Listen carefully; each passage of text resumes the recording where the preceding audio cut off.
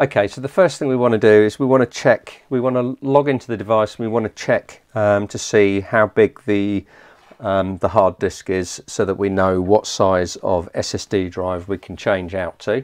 So the first thing that we've got here, I'll just run you through the setup. We've got our, um, this is our boot drive. This is um, Macrium Reflect that's running on here. Uh, the NVMe um, option on here just means that I've pre-installed NVMe drivers so that it works with um, all devices, not just um, uh, standard devices. So this device is an i3. So what we're going to do is first thing we want to do is to boot off this and we want to have a look to see how big the drive is. So to do that, we're going to power on and we're going to use the function F12 options on the uh, Lenovo IdeaPad to get into the boot menu. We're going to turn it on and immediately press and hold the function key and then just repeatedly tap F12 and there we go we're into the uh, the boot manager. Right so we're going to boot off the drive.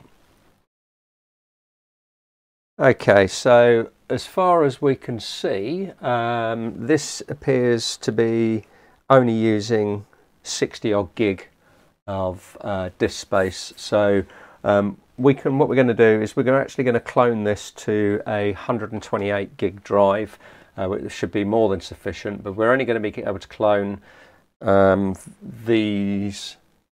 If I just somehow show you we're going to be able to clone the first three partitions.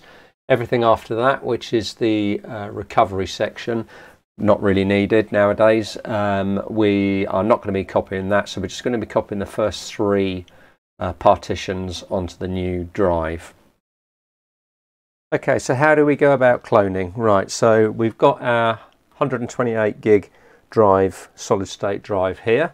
Uh, we are using this Fideco um, USB 3 to SATA interface. Now this device is really neat because it does SATA, it does IDE, small IDE and large IDE as well. So uh, a really useful tool for that. Um, we've got that loaded and we can see the drive, if I just show you on here, we can see the drive that we've got down the bottom there. It's already got some partitions on it because it's not brand new. Um, we are doing this as uh, low cost as possible for our clients um, to keep their their budget down. and They, they haven't got a huge budget, so we're doing this as cheap as we can, and we're reusing a drive. This drive is um, only two years old, only had two years of life used off it, so that should be more than adequate. So to go ahead and clone, what we're going to do is we're going to um, we're going to select our primary drive up the top here, and we're going to say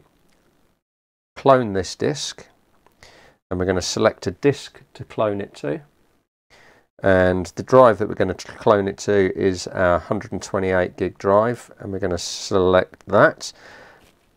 What we're going to do is we're going to click on um, we're going to click on delete partition and we're going to remove all the partitions from the drive. So as you can see here we've now got a completely blank drive with our partitions up the top here. Now when we click on next it's going to say that you can't uh, select all of the partitions.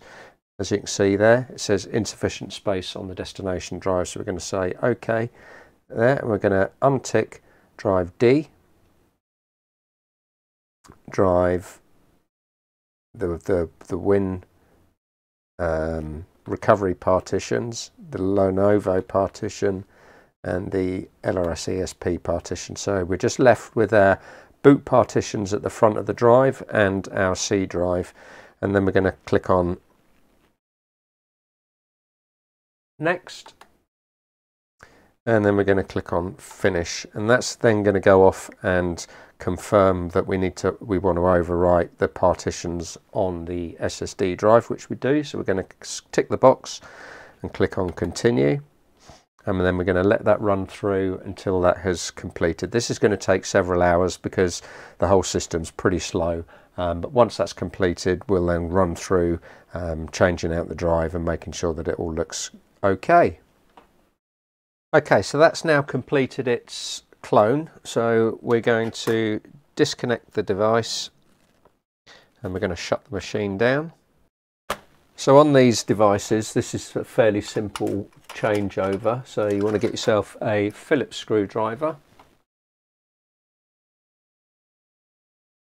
and on the back here you can see we've got our flap for our drive so we're going to undo that remove the flap and then we're going to slide out the drive like that. We're going to take these sides off.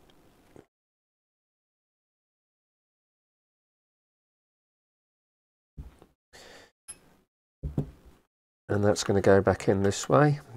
So we're going to put the uh, clip the sides back on on the new drive like that and then we're going to insert this back in here like that. I'm going to pop the top on.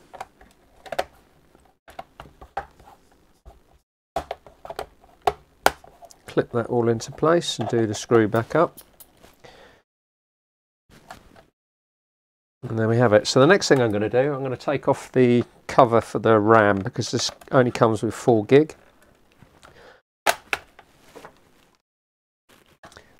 DDR4 memory.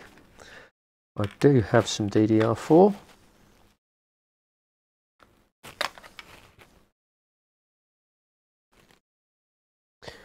But at the moment, not sure if that's going to work. So we're going to leave that in place and we're just going to see if we can start the machine up.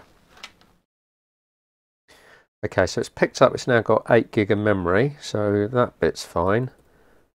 So let's exit saving changes and see if it boots. Okay, and it does. So we're in. So I'm now going to, let's get that shut down.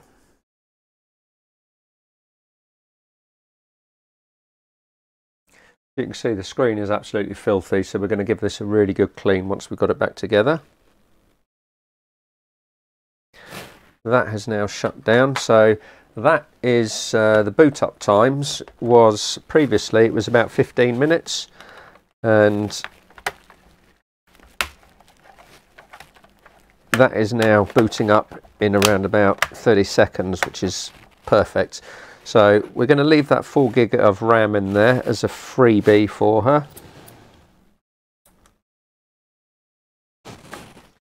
Like that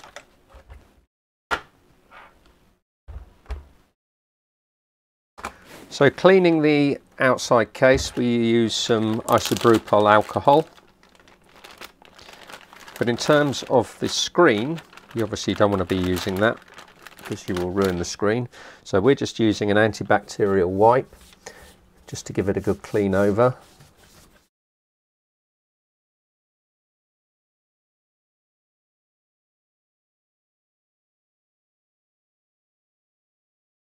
Like that. And then we're going to take a soft cloth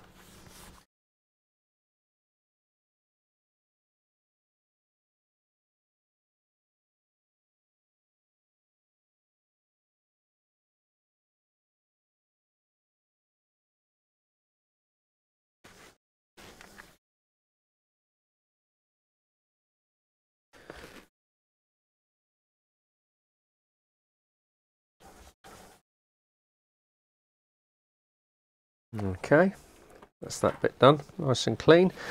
Next thing we're going to take a sheet with a isobutyl alcohol. We're going to put a little bit more on there.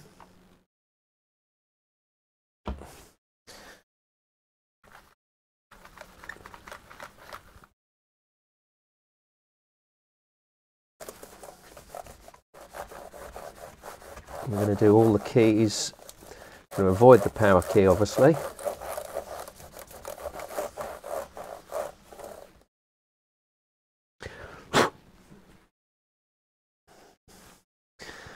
Once that's done, we're then going to go over the top of it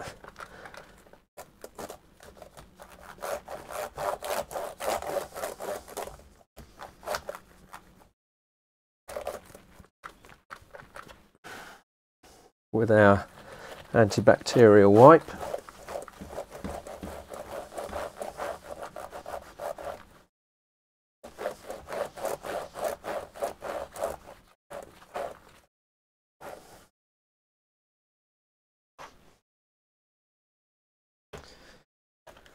And again on the bottom,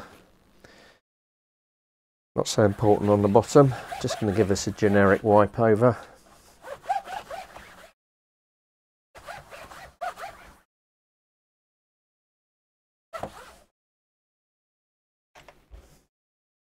And there we have it. And then what we're going to do is another boot just to make sure. Not sure why word's starting up, but we're going to go into properties. And there we go. So we can now see that we've got, uh, it's running at 2 gigahertz. We've got our 8 gig of memory in there because we've added another 4 gig for her, which is uh, free of charge. It's a freebie for her. Just go into the device manager, make sure that that's all looking good, which it is. So now we can close this down. We can give it one final clean off and then we can return this to our client. So if you found that video useful, give us a thumbs up. Don't forget to subscribe to the channel. Just want to say thanks for watching and we'll see you in the next one.